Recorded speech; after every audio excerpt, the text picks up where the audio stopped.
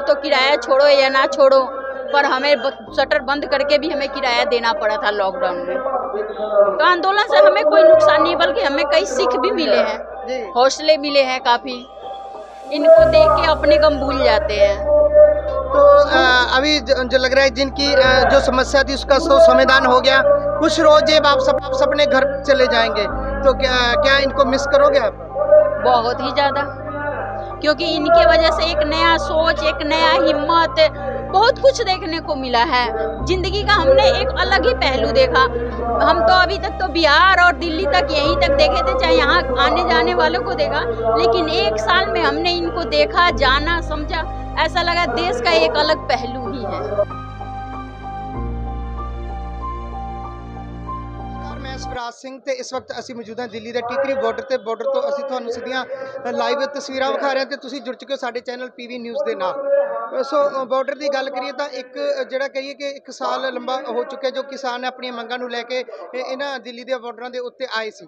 ਸੋ ਇਸ ਵਕਤ ਅਸੀਂ ਜਿਹੜੀ ਤੁਹਾਡੀ ਗੱਲਬਾਤ ਕਰਵਾਉਣੇ ਜੇ ਜੋ ਦਿੱਲੀ ਦੇ ਬਾਰਡਰ ਦੇ ਉੱਤੇ ਜਿਹੜੇ ਦਿੱਲੀ ਦੇ ਵਸਨੀਕ ਨੇ ਤੇ ਇੱਕ ਸਾਲ ਦੇ ਅੰਦਰ ਇਹਨਾਂ ਕਿਸਾਨਾਂ ਦੇ ਪ੍ਰਤੀ ਉਹਨਾਂ ਦਾ ਕੀ ਐਕਸਪੀਰੀਅੰਸ ਰਿਹਾ ਕਿਹੋ ਜਿਹਾ ਉਹਨਾਂ ਦੇ ਨਾਲ ਜਿਹੜੇ ਇਹ ਕਿਸਾਨ ਸੀ ਉਹ ਵਿਹਾਰ ਕਰਦੇ ਸੀ ਆਓ ਆਪਾਂ ਗੱਲਬਾਤ ਕਰਦੇ ਹਾਂ ਸਾਡੇ ਨਾਲ ਦਿੱਲੀ ਦੇ ਵਸਨੀਕ ਕੁਝ ਇੱਕ ਮਹਿਲਾ ਮੌਜੂਦ ਆਪਾਂ ਉਹਦੇ ਨਾਲ ਗੱਲਬਾਤ ਕਰ ਹਾਂਜੀ ਨਮਸਕਾਰ नमस्ते क्या नाम है आपका रूबी उपाध्याय कितने समय से जो अपनी जो शॉप है इस पे काम कर रहे हो आप ये हमारा सौ बीस बीस बाईस साल से है। ठीक है। किसानी आंदोलन की बात करें तो लगातार एक साल से जो किसान दिल्ली के बॉर्डरों पर अपनी मांग को लेकर डटे हुए हैं क्या कहेंगे इसके बारे में? कभी आपको इनकी वजह से कोई परेशानी का सामना करना पड़ा हो? नहीं इनके वजह से तो हमें किसी परेशानी का सामना नहीं करना पड़ा बल्कि हमारे कुछ परेशानी का समाधान ही निकला इनके वजह से। क्योंकि पहले ही एक साल से हमारे लिए गवर्नमेंट ने सजा कर दिया था लॉकडाउन करके। लॉकडाउन किए, पर वो कहे किसी का मन हो तो किराया छोड़ो या ना छोड़ो, पर हमें शटर बंद करके भी हमें किराया देना पड़ा था लॉकडाउन में। तो आंदोलन से हमें कोई नुकसान नहीं, बल्कि हमें कई सीख भी मिले हैं। हौसले मिले हैं काफ़ी। इनको देख के अपने गम भूल जाते हैं। तो अभी जो लग रहा है जिनकी जो समस्या थी, उसका सो, समाधान हो गया। कुछ रोज जब आप अपने घर चले जाएँगे। तो क्या क्या इनको मिस करोगे आप? बहुत ही ज़्यादा। क्योंकि इनके वजह से एक नया सोच, एक नया हिम्मत बहुत कुछ देखने को मिला है। ज़िंदगी का हमने एक अलग ही पहलू देखा। हम तो अभी तक तो बिहार और दिल्ली तक यहीं तक देखे थे, चाहे यहाँ आने जाने वालों को देखा, लेकिन एक साल में हमने इनको देखा, जाना, समझा, ऐसा लगा देश का एक अलग पहलू ही है। मेरी ज़िंदगी का अलग ही एक पहलू देखने को मिला, काफ़ी अलग, इतना अलग कुछ ऐसी बातें हैं जो सोच के इतना लगता है, बहुत ज़्यादा। मुझे एक यूके से परसों आए थे एक मिलने यूके से। उनके सोच, उनके विचार देख करके मेरी आँखें नम हो गई। क्योंकि जो काम हमारे गवर्नमेंट को करना चाहिए, वो काम हमारे देशवासी कर रहे हैं।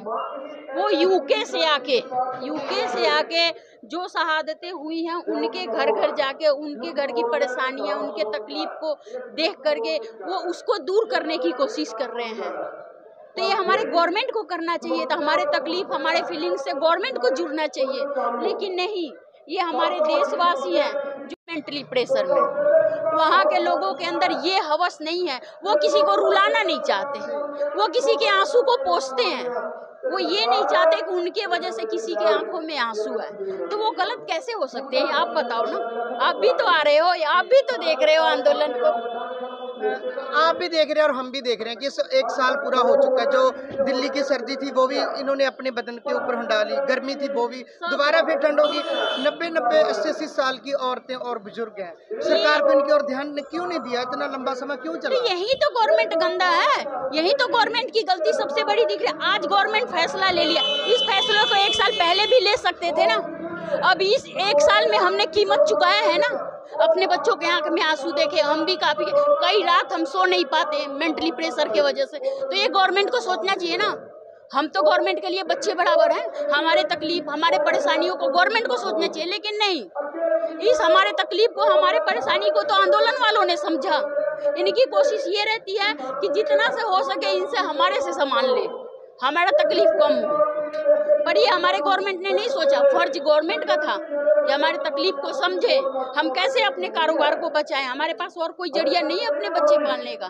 पर गवर्नमेंट एकदम निर्दयी है। पता नहीं क्या समझ में आ रहा है गवर्नमेंट को। और राजा को अपने प्रजा से जीना चाहिए। पर हमारे राजा को प्रजा का दुख, तकलीफ़ किसी चीज़ से फ़र्क नहीं है। मुझे तो मोदी जी मिलेंगे तो मैं तो सवाल करूँगी। कि मेरे आंसुओं मेरे तकलीफ़ का कीमत कौन चुकाएगा? जो वक्त हमने एक साल या दो साल में काटे हैं। लॉकडाउन एकदम से फैसला आ गया लॉकडाउन शटर डाउन दुकान का इतना किराया, कुछ भी नहीं, कैसे कैसे बच्चे पाला जाए, ये बताओ। या तो ऐसे में हड़बड़ा के आत्महत्या करें सुसाइड करें। क्या चाहते हैं? ऐसे ही देश की संख्या कम हो जाएगा। लेकिन जब से ये किसान आके बैठे और आपकी दुकान भी चल रही थी, आपकी आमदन तो बड़ी होगी। नहीं खैर, दुकान का तो सेल मेन रोड से था, इधर एम आई का एरिया है, उससे था। लेकिन फिर भी जैसे चला, मेरा एक साल बच गया ना। उम्मीद नहीं था कि हमारा शॉप बचेगा। मेरा एक साल बच गया ना, मेरा शॉप बचा ना, आंदोलन वालों के वजह से ही। ਬਹੁਤ ਬਹੁਤ ਧੰਨਵਾਦ ਥੈਂਕ ਯੂ ਸੋ ਜਿਹੜੇ ਲਗਾਤਾਰ ਗੋਦੀ ਮੀਡੀਆ ਦੇ ਵੱਲੋਂ ਇਹੀ ਗੱਲਾਂ ਫੈਲਾਈਆਂ ਜਾ ਰਹੀਆਂ ਸੀ ਕਿ ਜਿਹੜੇ ਕਿ ਦਿੱਲੀ ਦੇ ਵਸਨੀਕ ਹੈ ਉਹਨਾਂ ਨੂੰ ਇਹਨਾਂ ਕਿਸਾਨਾਂ ਦੇ ਕਰਕੇ ਬਹੁਤ ਪਰੇਸ਼ਾਨੀਆਂ ਦਾ ਸਾਹਮਣਾ ਕਰਨਾ ਪਿਆ ਸੀ। ਪਰ ਅੱਜ ਅਸੀਂ ਤੁਹਾਨੂੰ ਲਾਈਵ ਆਪਦੇ ਚੈਨਲ ਦੇ ਮਾਧਿਅਮ ਰਾਹੀਂ ਇਹਨਾਂ ਵਸਨੀਕਾਂ ਦੀਆਂ ਜਿਹੜੀਆਂ ਮੂੰਹਾਂ ਦੀਆਂ ਗੱਲਾਂ ਨੇ ਉਹ ਸੁਣਵਾ ਰਹੇ ਹਾਂ ਕਿ ਕਿੰਨੇ ਖੁਸ਼ ਰਹੇ ਤੇ ਪਰ ਉਦਾਸ ਵੀ ਹੋ ਜਾਣਗੇ ਕਿ ਜਦੋਂ ਇਹ ਕਿਸਾਨ ਵਾਪਸ ਚਲੇ ਜਾਣਗੇ ਤਾਂ ਇਹਨਾਂ ਦੇ ਜਿਹੜੇ ਮਨ ਹੈ ਉਹ ਆਪਾਂ ਵੇਖ ਰਹੇ ਸੀ ਕਿ ਜਿਹੜੀ ਮਹਿਲਾ ਸੀ ਇਮੋਸ਼ਨਲ ਹੋ ਰਹੀ ਸੀ। ਸੋ ਹੋਰ ਵੀ ਅਪਡੇਟ ਦੇ ਲਈ ਜੁੜੇ ਰਹੋ ਸਾਡੇ ਚੈਨਲ ਪੀਵੀ ਨਿਊਜ਼ ਦੇ ਨਾਲ। ਧੰਨਵਾਦ।